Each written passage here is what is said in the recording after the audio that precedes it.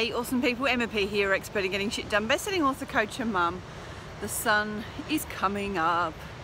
And I was thinking on my walk here that people want to know how to do things. What do I need to do to get to X, Y, Z to, I use that terminology a lot if you've noticed. What do I need to do? What are the steps? Give me the steps.